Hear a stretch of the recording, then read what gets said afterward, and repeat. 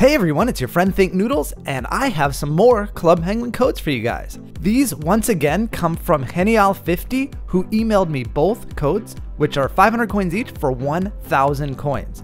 I'm sure you guys can use them at the prehistoric party. Before we get to the codes, please take a second to like this video and subscribe to my channel if you want to see more Club Penguin codes videos.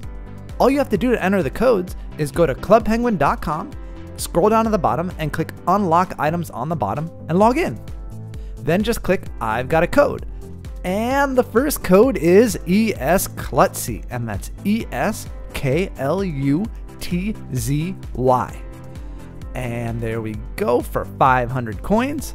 And the next code, and it's the final code, there's only two in this video, but still 1,000 coins, is Pizzeria, and it's P I Z Z E R I A.